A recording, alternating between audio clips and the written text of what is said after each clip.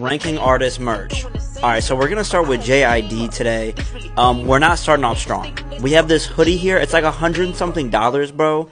As you can see, there's way too much going on. Like, what is with all this text, bro? It, it looks like he just copied and pasted. And that seems to be all of his merch, bro. Like, look at look at this one, bro. Even with the shirts, why is there this much taken up on it, bro? Like, even the front and the back. Like, I think he could have done this top design right here just for the back and just had maybe a little JID thing here and it would have been fine. And then here we go to one of my least favorite is the shorts. These are $50. It just says forever on it and it has these two designs. I hate the forever right there, bro. And then we have the pants, same vibe, just disgusting. And then this orange hoodie is probably my least favorite. This is like $75.